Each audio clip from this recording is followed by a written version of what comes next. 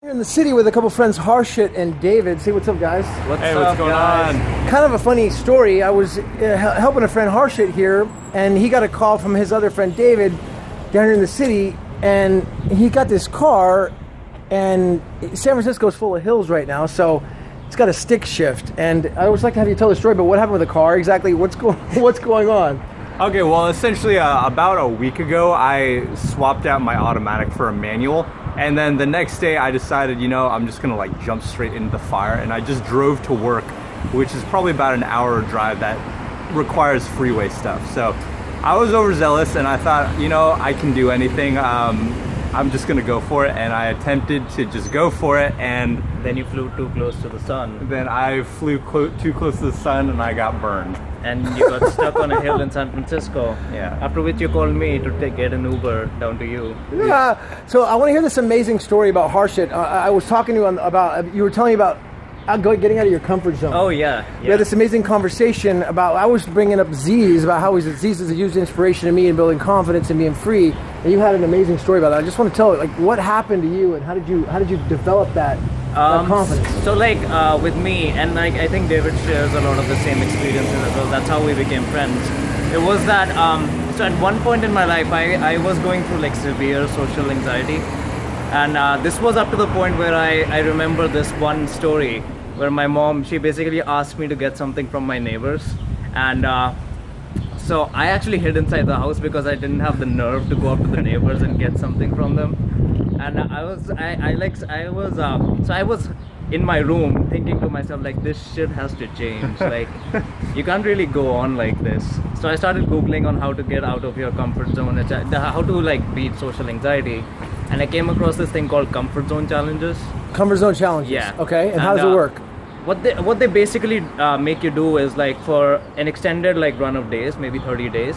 What you do is you make yourself uncomfortable every single day in various like you do various challenges like doing uh, 20 push-ups on the on a really crowded street in the middle of the day without any warning, or start giving high fives to people on the street. So Like- 20 push-ups on the street in the middle of a busy street intersection, or then just high-fiving people, like saying "What's up?" High-fiving Yeah. ran- random strangers. random strangers or like even just going up to random strangers and uh, you know start um, start a conversation And so you go up and you're just like totally scared at, at going up to them, or do you just uh, pumped up with adrenaline? I mean, what is it like? It, in the beginning, it was like completely mortifying, like the idea of just going up and talking to someone. And uh, after a while, what happens is you start to enjoy it. You start to uh, realize that you have so many skills that you can take, you uh, like develop through like. It's basically putting yourself in such a random, high pressure situation and seeing how your psyche, how your mind, how your body reacts to it.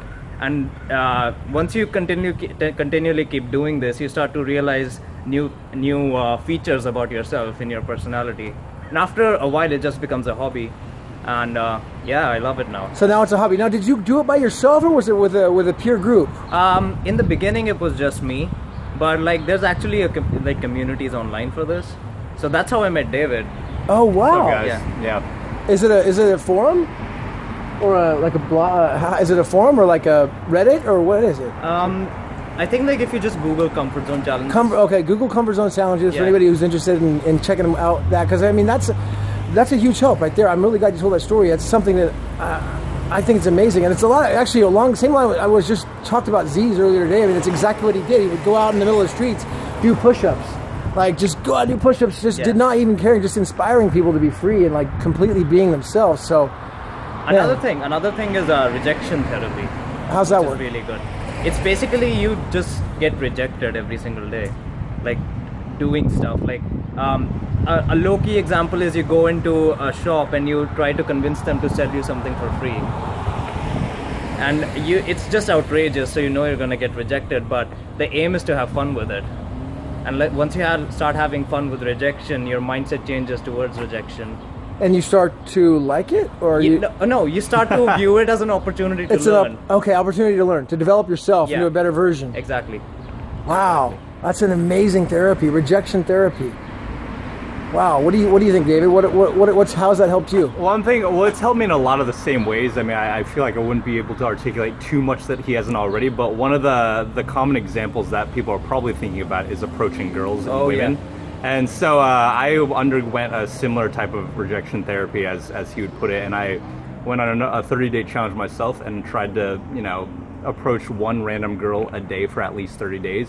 And um, that got me kind of in the mentality of just going to achieve my goals as opposed to just sitting around and waiting, essentially waiting for them to happen, thinking, you know, oh, it's meant to be, I'm destined to, you know, find something and just kind of like scheming. Like within these 30 days, I a lot of life changing things happened. I met a lot of great people. And most importantly, it was ingrained to me the thought of going for what you want. Basically, taking action rather than you know get, get stuck in that uh, phase of mental masturbation where you're just taking in information and doing nothing. Doing nothing about it. Now, now, can I ask you if this is this? Uh, do you guys know who Tyler Durden is? Oh boy. Okay, so that's a whole other conversation. All right, Yeah. good. So uh, that's, Yeah. that sounds a lot like like the same line. So anyone who doesn't know on the video, you should definitely check out Tyler Durden.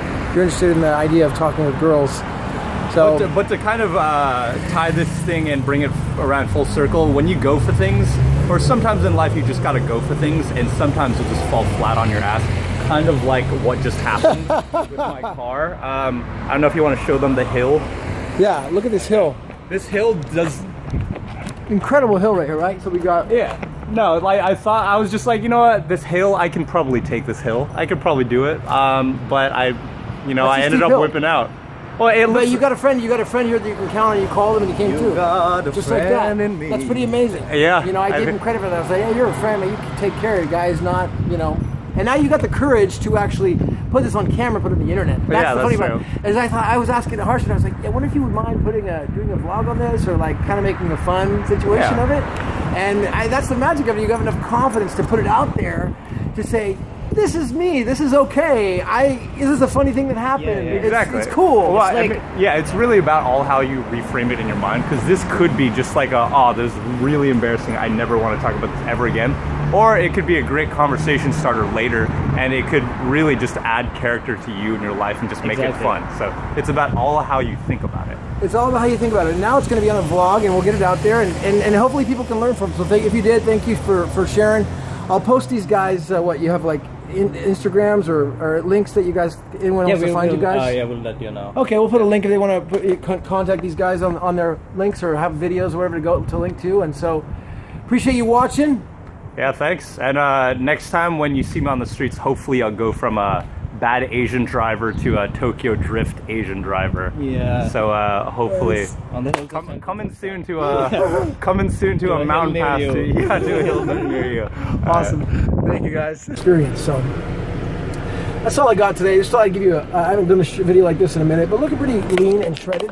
Um, probably about eight percent body fat. I'm thinking. I don't know, but very healthy and comfortable. Thanks to Greg O'Gallagher for a lot of the information he provided me. I'm following and uh, Kinobody, uh, Inspiration Zyzz, and it's a great philosopher once said that freedom is just another word for nothing left to lose. And it's so windy on some of these corners, man. I just feel like I'm going to fall over. I can't even get a shot. But each day, I feel like that, that statement that that great philosopher once made back here, probably in San Francisco one time, Janis Joplin, I feel like each day we're getting a little bit closer. We're getting a little bit closer to realizing it. To where, you know, it's like material possessions are great and and having things is good and all that. I feel like each day though, I feel like I'm getting a little bit closer to being completely free and walking outside and just being completely happy in the moment, letting go and and realizing that all we have is now. All we have is now. And the only goal each day that I really have and that anyone should really have is to feel good right now because all we have is right now. And so we when we're feeling good, our thinking is right, our attitude is right. And when our attitude's right, the facts don't count. So every day just just edging a little bit closer to being completely free and letting go of all material possessions. Not not not to sell them and not have anything but just to have no attachment to them to have no connection to material things. Just completely being in harmony and one with the true essence of, of who we really are and, and identifying with the source and with nature you know and with mother nature so because freedom is just another word for nothing left to lose. Great day. The wealthiest people I meet down here are some of them are just incredibly fine-tuned machines. Kind of like the guy smith in matrix. I just saw one you know saw a guy right now look just like that. Just shredded strong six foot tall and just super high quality classy wealthy you know prosperous gentleman you know like probably about in his mid 40s and i meet a lot of people like that down here. They know something they're on something they're doing something. But i believe that they're being having incredible phenomenal health like that is the number one sign of opulence. Having incredible mastery over your health and over your stomach is the number one sign of opulence. Now that's a lot different than it was maybe like say 200 years ago when being plump was the sign of opulence now it's just the opposite because it's so rare. It's so rare. Going by the gym, like the top rated gym and fitness place in San Francisco in the Bay Area, and none of the people were shredded. Now, granted, they're in good shape. I mean, they know what they're doing. They probably know a lot more than I do, okay? But they're not shredded. And I want to be shredded, man. I don't care. Screw all the rest, man. I mean, it's all good and all, but dude, I want to be aesthetic, man. I'm doing it. I do this for aesthetics, man. I don't mind being bold about it anymore. I don't care. Aesthetic is the way to go. Aesthetic's kind of the motivation, along with the health the durability and the way that you feel, right?